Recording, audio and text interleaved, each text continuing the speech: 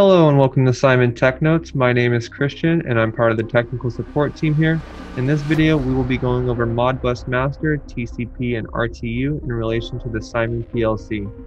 For starters, I'm going to open up CICON software, which is the universal application for CIMON PLC families.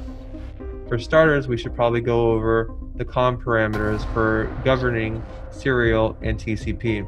So within the project tree, if you go to PLC parameter, you'll notice that there's a channel 1, which is for RS-232, and then you can just declare the COM parameters here, ignoring station number.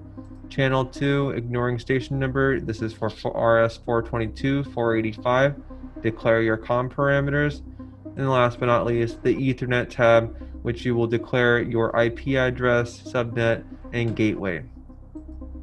Also, you will need to declare special programs for both master TCP and RTU. So if you right click and then on the program part branch of the project tree, click no, new program, you'll notice that we have Modbus RTU master program and a Modbus TCP master program.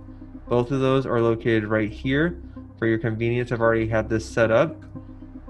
For each of them, you will have to declare the slot on what card in the PLC setup is actually confirming the master program. So in mine, the CPU will be confirming the master program, so slot 0 is the appropriate choice for the CPU. You would want to pick the right slot in case you're, you're using a serial card or an Ethernet card somewhere else within the PLC configuration. So if it's slot 4, you're going to go ahead drop do the drop down and pick slot 4. But for convenience sake, I'm going to go ahead and pick slot 0. There is a caveat here. The PLC-S cannot do Modbus TCP master by default. You will need to get an Ethernet card.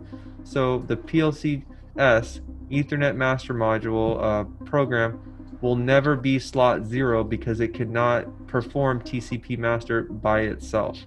So it, this will definitely always have to be slot 1 through 11 because it will have to be an Ethernet card. Going forward, if you just want to start talking to Modbus addresses without any control, you're going to go ahead and press add. And then once you press add, you'll have a configuration set up like this. My destination station, so this means that I'm talking through serial, so I'm talking through channel 1, so RS-232. I'm looking at destination station 0.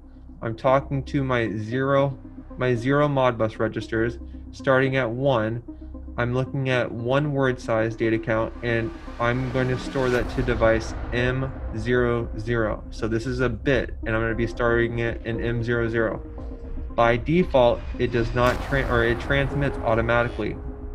If you want to control the rate at which it transfers, you would want to check this box and I'll go through later in this demonstration on what you would do if you do check this box. Likewise with Ethernet, you're going to do the same procedure. You're going to, but the only difference is you declare the IP address of the station you're going to be talking to. So you would click new, type in the IP address, and then you would have a station like this. And then, just as a reminder, you will have to pick a different slot for this because the Ethernet card will never be slot zero. So, just like the serial, you will have a station number you're going to be targeting, you're going to be either reading one of these variable types. So I just chose by default read coil status. So those are my zero Modbus addresses. I'm starting at address 1, so 0001, data size of 1, so 1 bit, and that's going to store to device L20, L20 the bit. And then by default, it transmits automatically. So if you don't want it to transmit automatically by default, go ahead and check this box.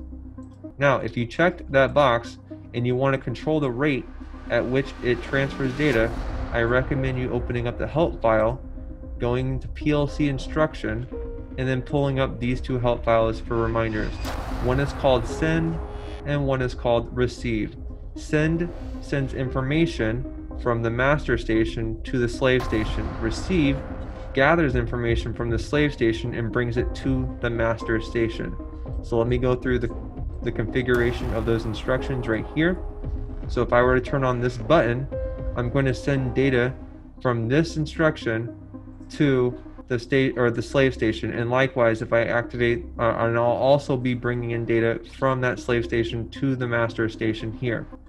So just to go over the format of these instructions, PID refers to the program identifier. So the program identifier can be found within these little brackets over here. So 0 refers to 000. Likewise, if you see the 1 down here, these ones refer to this program right here. Now you'll be looking at this odd character in the middle. You see I have H0000. So this is actually addressing which channel I'm talking through and which frame number I'm talking to.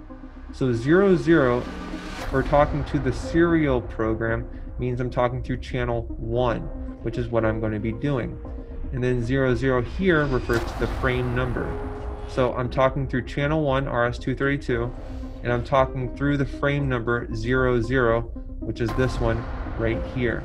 And then I'm going to see the result of my communication, not the result of moving data, but the result of the communication, com result, in M100. Remember, the device where the data is being stored is actually M00 and the Modbus address 0001. Likewise, I can also do this with receive. Receive will have the same structure, just pick a different COM result so you don't have overlapping data registers. And then when I get into TCP, it's literally the same method. You just need to make sure that when you are looking at this odd variable in the middle, this H variable, you are looking at instead of just 00 zero for channel 1 and 0, 01 for channel 2, this these first two zeros refer to which data server you're talking to. So if you have multiple ones, so this would be 00, zero, this would be 01, and then you'd have a 02, a 03. You can have all the way up to 0, like 50. You can have a bunch of them. And then just as a reminder, you can find the send and receive notations within your help file if you ever need further guidance. That is it for this video. Thank you for tuning in.